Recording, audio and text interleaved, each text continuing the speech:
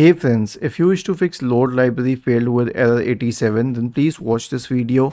I will guide you through the resolutions. The first solution is to restart your computer. Right click on the start button and select shutdown or sign out and then select restart. The second solution is to update the graphics card drivers and for this search for device manager in the Windows search bar and open device manager now expand the list for display adapters. Right click on the first display adapter and select search automatically for drivers.